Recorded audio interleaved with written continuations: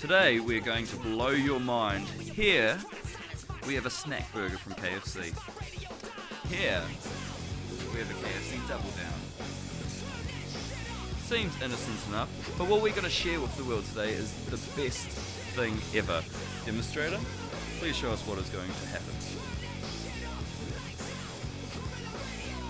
Takes the double down, opens the snack burger, puts it all together, and what is that? A snack double down, the most legendary invention of all time. Please like and share because this is epic. Yeah.